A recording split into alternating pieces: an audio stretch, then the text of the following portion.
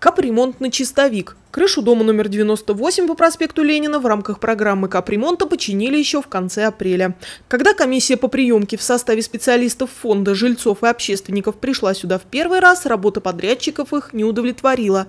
В частности, жильцы высказывали претензии к организации свесов и водостоков. У нас вот эта стена всегда была мокрая. На 62-й там, видите, какая Сейчас яма. крышу, крышу сделали, А крышу сделали неправильно. А- Она буквально вровень со стеной. Вот увидите, мы Там к вам свес- придем, свес покажем. Прислушался ли подрядчик к мнению заказчиков? Работу проверили в пятницу. На этот раз к приемочной комиссии присоединились члены общественной палаты.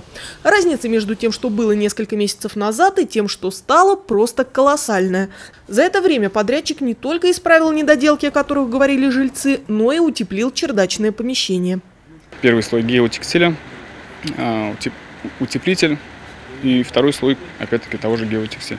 Сделали ходовые мостки по, все- по всему периметру, чтобы могли обслуживаться а, отопительные, ну, верхняя разводка чердачного помещения.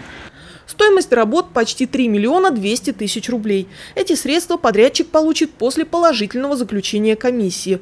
Этот дом, по мнению экспертов, мог бы стать образцовым в плане исполнения программы. Другой вопрос, как сделать так, чтобы эталонным был каждый капремонт. Как вот мы считаем, и не только мы, и члены общественной палаты вот здесь присутствовали, и члены СРО, э, данный капремонт является ну, фактически показательным. То есть именно таким и должен быть капремонт вот подобного рода крыш. Поскольку капремонт, в принципе, это делается за счет денег жителей, а, региональный оператор лишь кумулирует деньги, а подрядчик выполняет работы, то э, проявлять активность первое, и второе, привлекать общественные организации, такие как наши, ЖКХ «Контроль». Комиссия дала положительное заключение, а значит ремонт здесь официально и успешно завершен. Гарантия от подрядчика 5 лет, но обещают, что простоит все 30.